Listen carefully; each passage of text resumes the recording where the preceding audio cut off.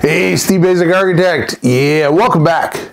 We are inside. I think I'm calling it the Vibe Studio. Let me know what you think. But uh, yeah, Vibe board has been a game changer, right? I'm Steve Baczek Architect. You might have seen me. I'm a contributor on the Build Show Network. Go check it out, buildshownetwork.com. Tons of videos up there too. But uh, we're going to continue our talk about windows. Yeah. Yesterday's video, we talked about windowsills. So, you know the logical choice. You got it. Window jambs. Let's get started. So, passive house. Yep. I think this was number five, if I believe, in the country. It is also like close to zero energy. It's not quite there, but it's very close. And we had actually solar hot water up there too, if you didn't notice that. That's why those three panels are different, and that's why we have some pipes happening that interconnect those panels. Now, this was a passive house that I designed in 2009, and we constructed it and certified it in 2010. Um, it is up here in New England. It's in climate zone 5. Um, it is also a house literally right on the water. Um, so we had a lot of the wind, high wind um, detailing happening here. You might have seen some of the shear videos that I did a little earlier, but window jambs. Let's talk about them a little bit. Notice here, those windows, those are out. These windows are in, right? Innies and outies. Outies are in the plane of the wall. Innies, they're pushed in a little bit. You can see there, right? They're pushed in that wall in the middle of the wall. Well, there's somewhat the same detailing, but different risks you're taking, different concerns that are happening there that we can uh, certainly talk about. Um, as a side note, Look at how all the windows are protected. All the windows and doors, right? Let's use an architecture, teaming it up with building science to deliver an exceptional product. One that I tell people it's going to perform as good as it looks, right? We're not going to really have to worry about a lot of window leakage here, although we are, like I said, in a very high wind zone being right on the edge of the water. So this building is going to get tortured um, a lot more than, say, my house here. That is a lot further, you know, a few miles removed from the coast, heavily protected by trees. You know, we're not going to get a lot of rain challenging my windows here like this thing is going to get, right?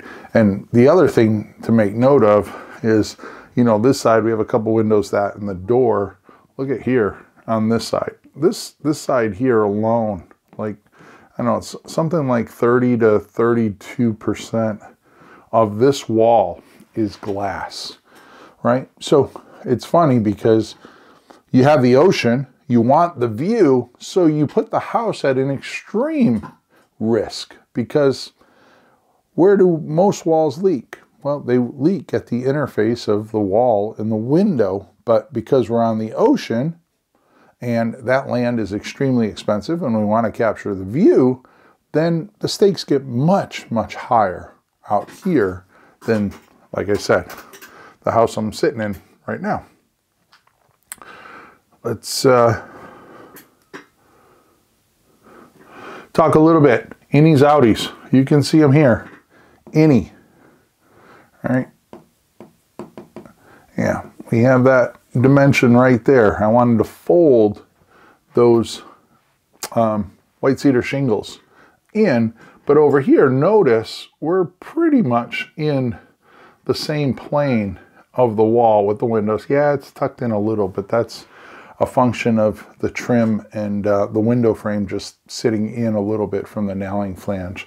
But uh, for all intensive purposes, any and outie. Now, some people don't go telling me, you know, hey, Steve, we should have called that a MIDI because it's in the middle of the room. It's really not, or middle of the wall. It's really not in the middle or the inside of the wall. I get it. I'm just trying to keep it crystal clear, black and white, kind of any outie, as opposed to MIDI, which offers a little bit of a gray area. So you use the semantics you want to use. My video, I get to use what I want to use. Now, one thing I've noticed is also there's second floor or there's wall above that window. Here we have, you know, an overhang and then it comes down and then we get that dimension again. So by the time you get from here, I think this was like 24 inches and this is another 8 inches. So this dimension here, 32 inches, the surface of the glass from that roof overhang. So that's really, really good protection there. Um, and then on the inside, you can see here, and like I said, today we're talking about jambs. So, you know, we're probably on the order of 12 inches plus or minus there. Nice big sills in the space, but that's when I push that window out, right, for the outie. If I come over here, and I go upstairs, you can see there's the shingles on the outside because they're turned into there. And this being a MIDI, then this goes down to probably somewhere around eight inches, plus or minus, on the inside. You can see we're literally right on the water. Yeah, there's a little jetty there, but on the other side of that, yeah, that's England is the next piece of uh, land you see um, or Europe in general. So pulling that in, yeah, some people like to have the deeper window sills. Some people, hey, I can live with the shallower one. I really like that deep pocket imagery that's happening on the outside, setting those windows in. But uh, let's talk about them. So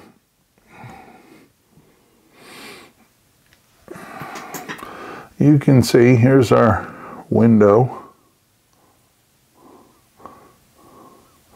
That's our window frame. And this is a casement. And I can tell because I have the frame here and then the sash is there. And then notice we have one, two, three. So that's our triple glazed window unit. Um, in this case here, we had a cedar siding. You can see there's our trim. Um, our clapboard or lap siding is there. And then we have our one by furring strips there. We have a couple extra or one extra because we want to be able to catch that trim piece, but we also need to catch the uh, cedar siding. Now, very similar to our sill detail. We have our framing member there, and that gets a nice hefty bead of sealant. So we're connecting our zip, in this case, which was our primary primary air barrier. And that gets connected to the framing. The framing then gets connected to here, which in this case was another piece of zip on the inside, even though it was drawn a little shallower there. I know we put zip on there on the inside. So basically what we did was we took this zip and folded it around the corner, right? So that any attachment to this side face of the zip was no different really than attaching it to this. They're both here as well as here are both my primary air barrier for that. Now, one of the interesting things a lot of people always ask, hey, what should, is the best material for my air barrier? My point is, or my answer always is, one, the one installed right, but two, where are you talking? Because if you look at this, yes, this is this zip is my primary air barrier. That zip is my primary air barrier. So isn't this membrane that I fold around the corner, right? Connecting that piece to that piece. So isn't all of this expanding foam sealant.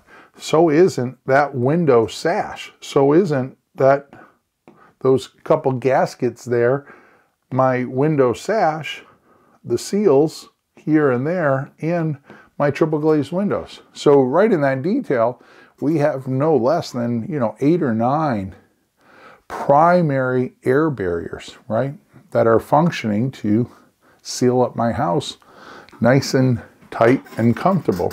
So turning that, we install the window, right? It gets oversized. Our rough opening, it's on the order of about half inch there. And then we get in there and we put backer rod and then we fill that with some expanding foam. Now, I've been getting a lot of comments, hey, is there anything you do differently? And these details for certain, I would, today, I would have a piece of tape that connects that primary air barrier right to this, and it would be a belt and suspenders approach um, in addition to that. And, you know, we obviously we have the flange here and then that gets taped. So that would also uh, happen. We just wouldn't do that down on the sill, especially in this situation, being on the water. We'd want to have the ability to uh, drain that water out down on the bottom there. Um, let's take a look over here. All right. So this one here, we moved the window inboard. You know, I mean, if that's five and a half inches, we probably moved it in roughly about six inches. Notice that the window is probably close to the center line of the wall. Now, the energy nerds out there, they're going to suggest that that window be placed somewhere in that middle third, right? And talk about it. But the detail really hasn't changed much. We have our zip here. It gets connected there to the framing there. It turns the corner and comes all the way up like that. We have a membrane that comes across here and goes all the way to a point inside of the window right? And then, of course, we have our backer rod. We have some foam sealant there. And then on the outside here, we have our trim piece there. And on the inside, we bring our drywall up and finish it off. Oh, sorry. On the inside, we bring our drywall up. On the outside, we have our trim piece. Had it backwards there for a second. But, um, I mean, not a whole lot of difference from the sill. And you can see there's some nice gasketry happening inside there um, so that the sash, right? Picking out a really good window. And, you know, one of the things in, in doing a passive house, I told you this is a passive house uh, certified house when you do an air test, the final air test, and uh, let's do this in green, you have to do a positive and a negative test, right? And why do you have to do that? Well, it's mostly because we want to test the windows. And if I do a negative pressure test on this house, and negative pressure, if this is outside and this is inside, a negative pressure test is pulling the sash up against these pieces of weather stripping. And it's basically tightening the house for you by the force of negative pressure. But what happens when I take that and I exert a positive pressure and I want to push that window away? Well, those weather strippings aren't really doing, well, they're still sealing it, but there's no advantage now because I'm trying to push the window away. So the window has to really be a very sturdy sash in the way that it's constructed. Usually they're multi-point locks, so you're not just relying on um, two or three hinges down one side of the frame, that it's actually engaging on the other side of that sash frame so that it's holding it in place so that as we do that positive pressure test and this thing wants to swing out, it does it, right? It stays in place. Now, when we tested this, there was a delta, I want to say it was like five or six. You can go back in some of the previous ones. I know I talked about it. Um, I mean, it was like five or six CFM. There was a difference, but it wasn't a very, very large difference. So the window manufacturer actually did a really good job of building a robust assembly. They just had a problem delivering it, right? So anyways, middle third, you can see those details. If we were to do it again, yeah, we would add the advantage of some tape in here. Um, you know, the backer rod is one of those that um, we used it early on, and I'm thinking we might bring it back a little. One of the issues that we find is when you have that rough opening, guys that, and gals that want to do the expanding foam, well, there's no way to control whether that's one inch or three inches. And the way you do that is if we insert the backer rod back here and we only leave this as three quarters of an inch, then we can fill that up with the expanding foam and then I get a much more freer cavity. Why do I want a freer cavity? Well, the more air open that cavity is, the more I can use Mother Nature and gravity to have water fall should it get into that system right? I need to block out the air, but the water, I want it to fall down in that system and then go out my sill pan. So anyways, there you have it. Those are the jamb details. You got it. I'm Steve Baczek Architect, Build Show Network. Yeah, I'm one of the contributors there. I'm also one of the hosts on the Unbuild It podcast, so go check that out. You can find that on the Build Show Network under podcasts as well as this is the vibe board. You know I'm loving this thing. And if you're looking for more, follow me on Instagram, LinkedIn, Facebook, TikTok, and of course, you're right here on YouTube. And you know what I'm going to say? You got it. Smash that subscribe button. Until next time, I'm Steve Baczek Architect. This is our first passive house that we're putting in review. Until next time, long live our buildings.